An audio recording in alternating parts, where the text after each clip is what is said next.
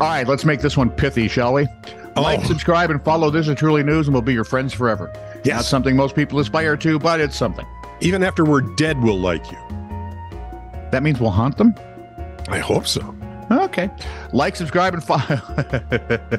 By the way, if you ever see the British TV show Ghosts, it's a hoot. I gotta watch Ah, that one. I really do. do. I do. I'm I'm going through. What am I going through? Fringe. right Menopause. now. no, I'm going through Fringe right now. and I'm season three. Ah. Like, subscribe, and follow This Is Truly News. If you see a story we'd like, TITR at netradio.network. Well done, lad. Thank you. This is true, really news with Scott Combs and Tony Vercanis. All the news you're about to hear is true, Really? as far as you know. A stunned. Hey, and that's Laddie to you. That was my dog's name. what are you thinking? Well, I suppose I could call you Indiana. A stunned smoker found a dead lizard in a pouch of rolling tobacco. Well, Shut up. Why? Everyone's going to want one. that's why I never rolled my own, man. the squash three inch reptile was discovered stuffed inside a 30 gram packet of amber leaf tobacco purchased, purchased at a Morrison supermarket. Customers said the poor thing was bone dry, stiff as a board. It looked like some of the tobacco had actually dried into his body. so if you added water, I know. Yeah, rehydrate him. It was thought to be a fence lizard, native, native to the tobacco growing state of Virginia, U.S. It crossed the Atlantic and was uncovered in Wakefield, West Yorkshire. The smoker claimed that Amberleaf refused to refund for the uh, 1855, well, more than 18 pound pouch. I never know what to do with the cents. yeah, I don't either. They it's Britain. They have no sense. Well, wow. Nice work. He, want, he wants the lizard posted to their U.S. factory as proof. Oh yeah, they want the, they want him to send us the lizard. Amberleaf producers, uh, Japan Tobacco International, and Morrison supermarkets have been contact, contacted for comment. They ain't making one. Can you FedEx a dead lizard? I just Yeah, I think you can. It's a mummified lizard. It's a hey, I want a tobacco lizard. It's sort of like the worm in the tequila. Residents of South Florida, of South Tampa, Florida, yes, Florida people, are shaking their heads trying to discover the source of a quote, deep vibrating bass bass. A deep vibrating And who bass- doesn't want a vibrating bass? Uh, especially Mrs. Bass, a deep vibrating bass sound that's been occurring Saturday evenings for months, according to Fox 13 TV. Yeah, but we don't want it shuddering. I think that would probably be too much. Abby Reynolds. Oh, Abby Reynolds, and you can feel it when your head's down on the pillow. I'll, I will drive down there and slap you. People have posted on social media. oh, God. People have posted on social media saying that their windows are literally, literally rattling and it reverberates from neighboring tall houses like an echo chamber. The Tampa police Yeah, can't locate a source. seriously.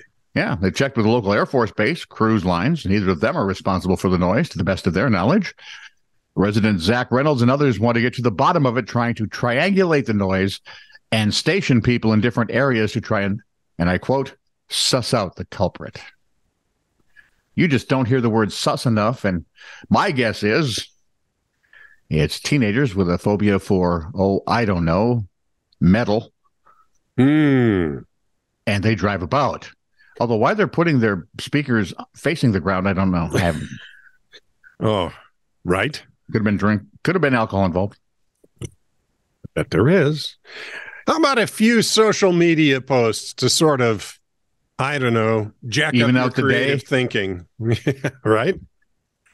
New dating app idea called 7.5.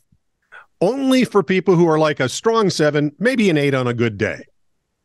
Who look kind of athletic, but would probably die if they had to run a mile. Have depression, but the kind that makes you funny.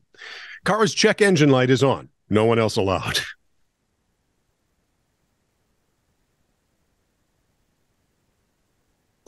kind of dating app I'd need. Name is Bob. He lives over in Devlin. I'm just going to knock on his door. That'd be yeah, this serious question here. Hmm. When someone's telling you a sad story and crying, how long should I wait before I take a bite of my corn dog? Count at least 25 Mississippis. Why do so many mobile games want access to all photo galleries and camera on your phone? The answer? They want pictures of you on the toilet so they can blackmail you into writing good reviews about their product. Don't ask me how I know, because all I know is that Candy Crush is a lifesaver during these hard times. Would recommend to a friend. I don't know. a Stupid species. I don't know who needs to hear this right now, but you can eat lasagna in the shower if you want to. It's not illegal. They can't arrest you. Go and be free. Okay, Big Bang Theory moment. Okay, When do it. Penny decides, but you were drinking water. I just didn't want to drink. Oh, please. I've seen you drink in the shower. Right?